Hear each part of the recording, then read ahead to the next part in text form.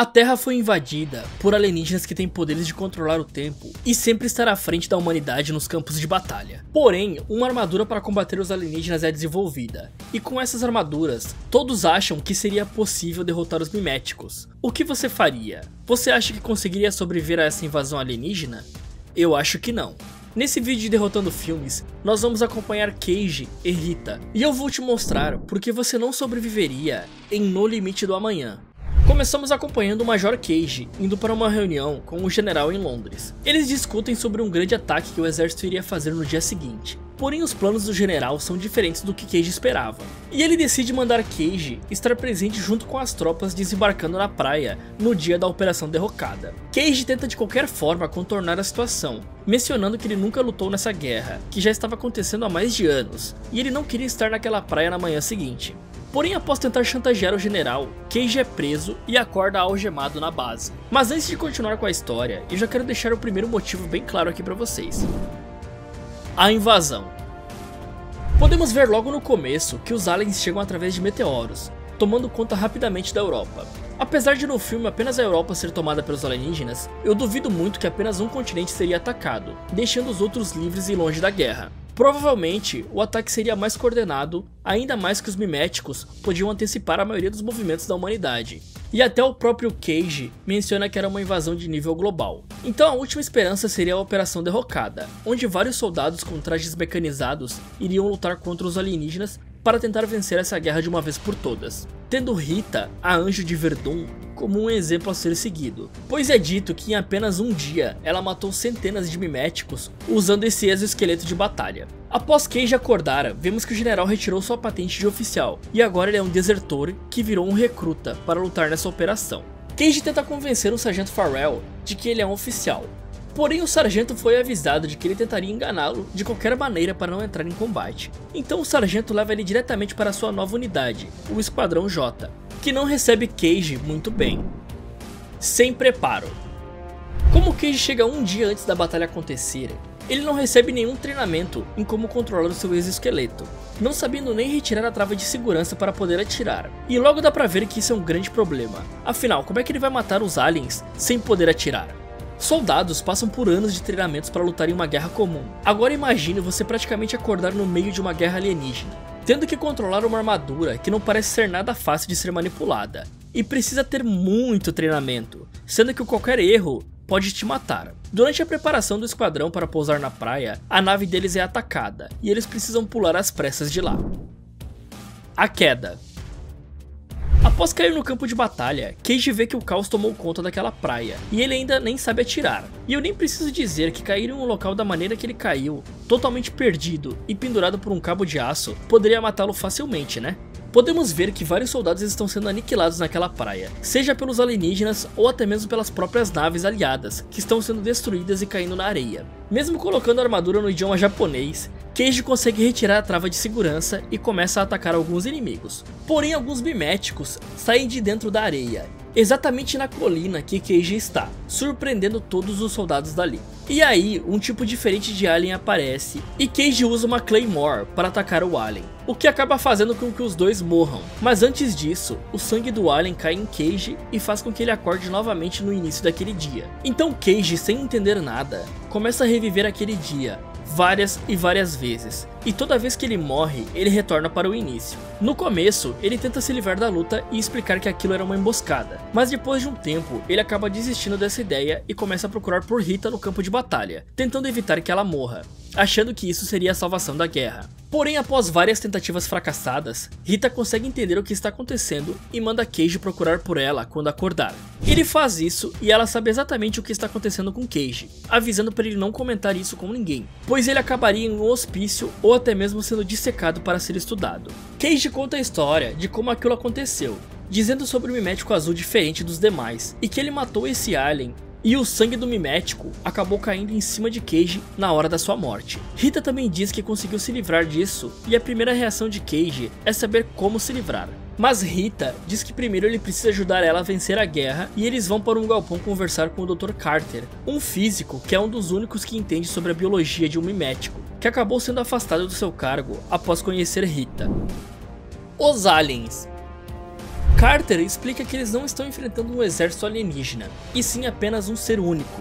E parece que esse organismo é feito com uma espécie de nanorobôs, que se adaptam a qualquer situação. E eles são organismos perfeitos para conquistar o mundo, pois eles têm o poder de controlar o tempo. Os miméticos comuns que aparecem em várias situações são como as garras do organismo, que lutam na linha de frente. Esses aliens não precisam comer nem descansar, ou seja, podem batalhar infinitamente. Eles são extremamente rápidos e conseguem cuspir pequenas bolas de fogo contra os seus inimigos. E também é praticamente impossível saber de onde esses aliens vão sair, pois eles ficam escondidos debaixo da terra e só aparecem após notarem a presença de alguém.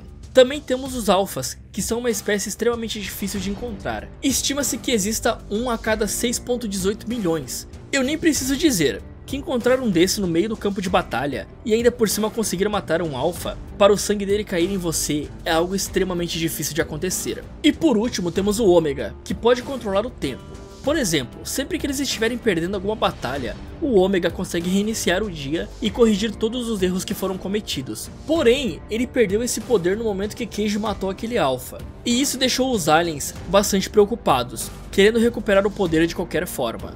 E apesar de no filme existir apenas um ômega, no mangá existem mais de um ômega, o que eu acredito que aconteceria em um cenário real, pois deixar um organismo inteiro apenas como uma fonte de energia, sem um backup, não seria algo inteligente. Até mesmo porque apenas com um ômega, ele só conseguiria atacar um continente ou eles demorariam demais para expandir para outros locais. E como o próprio Dr. Carter falou, podem existir vários meteoros iguais àquele que caiu na Terra, e era apenas uma questão de tempo para o restante chegar por lá.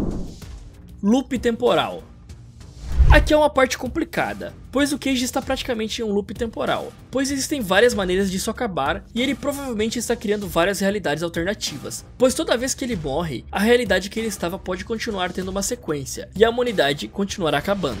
E a única forma dele perder esse poder seria recebendo uma transfusão de sangue, destruindo o Ômega ou um alien pegando o poder de volta. Então só imagine quantas vezes ele falhou e quantas vezes a humanidade deve ter sido extinta da Terra. Isso com certeza criaria um paradoxo temporal. E mesmo que ele consiga salvar o mundo, uma boa parte da população já foi dizimada. Afinal, esta guerra já está acontecendo há mais de 5 anos. E outra coisa que poderia ser incluída aqui é a exaustão psicológica de Cage, pois ele deve ter morrido milhares de vezes, lembrando de tudo que aconteceu, e de todas as vezes que ele perdeu, e também das pessoas que estavam com ele, que acabaram morrendo. Após a conversa deles e da apresentação de Carter, eles bolam um plano de procurar pelo Ômega, no momento que Cage começar a ter visões de onde ele está, e usar essas visões para encontrar a localização do Ômega. Cage comenta sobre não ter treinamento em combate, e aí a Rita começa a treiná-lo e parece que eles perderam um bom tempo nesse treinamento, pois a Rita mata ele algumas vezes. E vocês já pararam para pensar o que acontece com ela após matar o cara? Ela tem que esconder o corpo ou ela é presa? Então após Cage ter uma visão sobre onde o Ômega poderia estar, eles decidem ir para o campo de batalha e ir até a represa que ele viu. Não é um dos melhores planos, pois passar pelo caos daquele campo de batalha é praticamente impossível. Aquilo era uma armadilha criada pelo Ômega, então estava lotado de aliens naquela praia. Depois de muitas tentativas, eles conseguem chegar até alguns trailers com carros abandonados. E eu nem preciso citar o clichê de carros abandonados funcionando, né? Pois com certeza nenhum carro ali iria pegar, e eles não teriam um meio de locomoção. Após eles conseguirem um carro e sair da praia, eles vão até um galpão e logo descobrimos que aquela tentativa também já tinha sido executada algumas vezes, e Rita sempre morreria na tentativa de fugir com o helicóptero. Então isso se repete e Cage acaba chegando na represa. Mas quando ele chega lá, o Ômega não estava naquele local, e sim um alien comum e um alpha estavam lá esperando por Cage. E aqui podemos ver a inteligência desses seres, pois eles atraíram Cage para aquela represa, tentando recuperar o poder de controlar o tempo novamente. Por isso eles evitam de matar Cage e até mesmo tentam cortar a mão dele, para entrar em contato com o sangue e recuperar os poderes. Ele ainda consegue entender que aquilo era uma armadilha e consegue se afogar para resetar o dia. Então agora como o plano deu errado, eles partem para outra ideia de usar o dispositivo que foi criado por Carter. Porém aquele que está com ele não foi finalizado, e apenas o general do começo do filme possui um equipamento finalizado com ele. Só que esse equipamento ainda não foi testado. E quais seriam as probabilidades de um plano desse funcionar? Cage e Rita tentam várias vezes conversar com o general, até que em uma delas ele entrega o aparelho para Cage. Então eles começam a fugir do local e em uma das tentativas, Cage consegue espetar aquele dispositivo em sua perna. E seria bem difícil isso funcionar, pois nunca tinha sido testado, e ele foi desenvolvido para ser usado em um alpha. Porém, eles conseguem achar o local que o Ômega está escondido. A criatura está em Paris, e eles precisam encontrar um modo de chegar até lá. Mas os dois acabam sendo presos durante a fuga daquele local, e Cage recebe uma transfusão de sangue, enquanto estava apagado então ele perde todos os seus poderes de reiniciar o dia. Eu não acho que eles seriam presos dessa forma, e sim algemados, o que iria dificultar um pouco a fuga, ou até mesmo sendo colocados em celas, o que faria ser praticamente impossível fugir sem ajuda. Mas os dois se livram facilmente das macas e fogem do complexo. Porém agora Cage não tem mais poder de reiniciar o dia, e isso deixa as coisas um pouco mais complicadas. Eles chamam o Esquadrão J para participar da missão, e ir para Paris destruir o Ômega. E eles conseguem roubar uma nave daquela base, o que eu acho bem difícil de acontecer, pois só pessoas autorizadas teriam acesso a ela. E logo seria enviada uma equipe atrás deles, pois todos ali seriam considerados desertores, que estariam fugindo do combate no dia seguinte. O grupo chega até Paris, mas é atacado enquanto ainda está nas naves, e são obrigados a pular. Cage e Rita perdem as suas armaduras, e logo eles veem que os miméticos estão a caminho do local. Então Cage tem a ideia de usar o avião como um veículo de impulsão para chegar até o museu. Eles chegam a toda velocidade naquele museu, e eu nem preciso falar que a chance de morrer aqui, no momento em que você é lançado do avião, é bem grande. Bastava apenas ter um vergalhão no caminho, e você seria facilmente empalado. Então a dupla consegue entrar no museu e quase são esmagados por algumas pedras que acabaram desmoronando e logo eles encontram um Alpha que está patrulhando o local. A Rita diz que vai servir de isca para o Alpha, enquanto Cage deve destruir o Ômega. No final, Rita é pega pelo Alpha e Cage pula na água para destruir o Ômega. No momento que o Alpha dá um golpe fatal nele, ele consegue puxar os pinos da granada e faz com que tudo exploda. Mas parece que novamente o sangue do Alien caiu em Cage, pois ele acaba acordando no exato momento que o filme começa, justamente quando ele estava dentro daquele helicóptero que estava chegando em Londres. E ainda com a notícia de que a guerra havia acabado, pois alguma coisa tinha acontecido com o Ômega e acabado com todas as tropas alienígenas da Terra. Eu acho que mesmo com o poder de voltar no tempo, que eles tinham momentaneamente, a chance de ter mais alienígenas seria bem maior.